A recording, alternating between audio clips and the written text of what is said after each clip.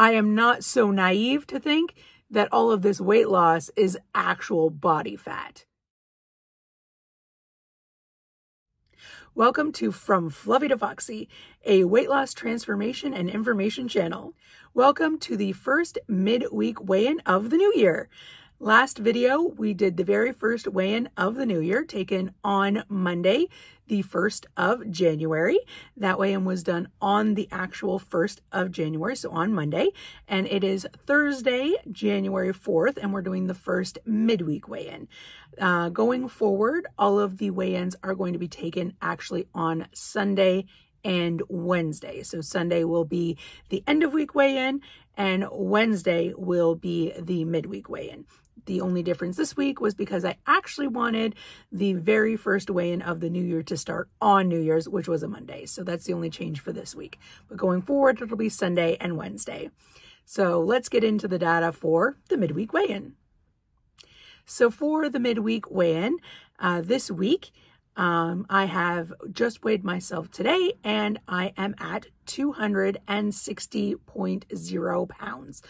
And let's be fair, anybody who's on a weight loss journey, as soon as you see anything, especially on the five or 10 pound mark, if you see the point zero, what's your first reaction? Let me know in the comments because what my first reaction was, why couldn't it have been 0.1 pounds lower so that I could be in the 250s?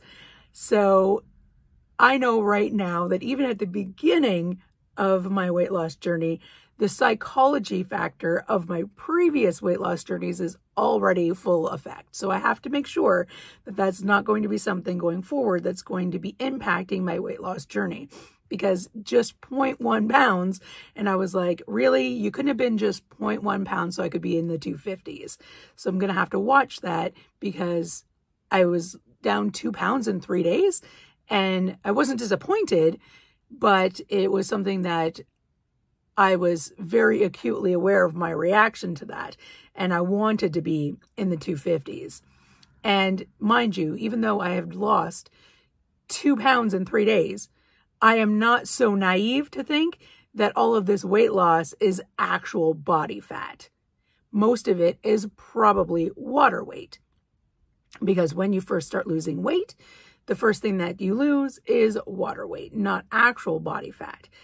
So I'm pretty sure that it is actual water weight and not body fat. But as we go through my data from my Renpho scale, you'll see some numbers that actually are pretty funny.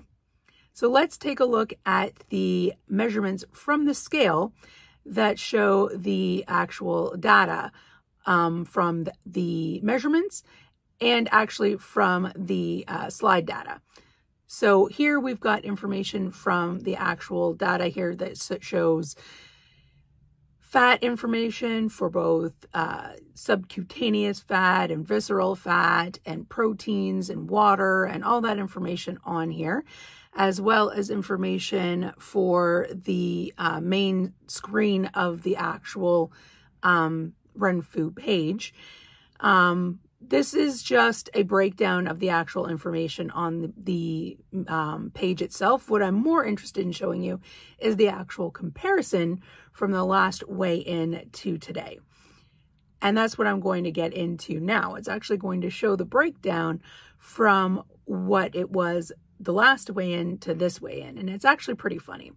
So as you can see here, I've got the comparison slide up and I've got two graphs. One of them shows the weight graph and that shows the plateau, the ink from when I originally started to the very first video weigh-in, then the second video weigh-in where I went up just a little over a pound, and now that I'm down two pounds.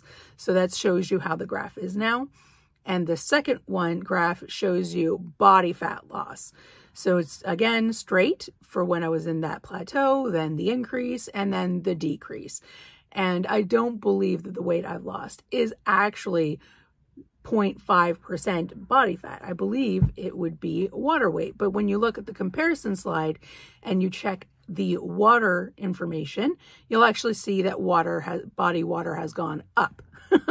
so even though um, I believe that it's quote unquote water weight that I've lost, not actual body fat. You'll actually see that the water in my body has gone up, not down. So who knows? Maybe I have lost two pounds of actual body fat. So this is where we stand at the midpoint of the week. These midpoint weigh-ins are likely going to be a lot shorter than the end of the week, unless there's something that uh, dramatically impacts the scale weight or uh, dramatically impacts my uh, weight loss journey in itself, such as an event or uh, a binging episode or something along those lines that may have impacted something. I'm going to be very candid if those happen. Uh, so if any of those happen, I'll be sure to mention it. But other than that, these ones are likely just going to be a short little update on how the week has gone so far and where it's sitting at the moment. So far, nothing to report as far as the week's gone. It's gone pretty, pretty okay, but uh, maybe we'll have a bit of a bigger update come the end of the week. so until next time, stay amazing.